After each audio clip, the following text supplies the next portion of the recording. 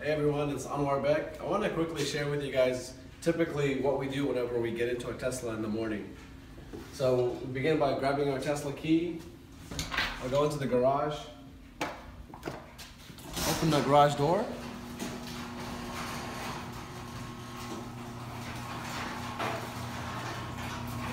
And the car automatically opens itself whenever I get closer because I've got the key in my pocket.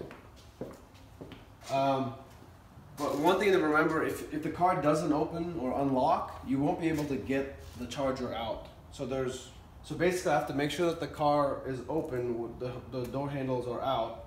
Now I can actually take the charger out. One other thing that you'll realize is on the charger here, if the green light is, is still like this, that means the car is done charging. This car is set to charge at 90%. So basically overnight, it's reached 90% and it's stopped. If the car is still charging, this thing will be in motion and going up and down. So once we're ready to go, basically you unlock, you'll see a white color.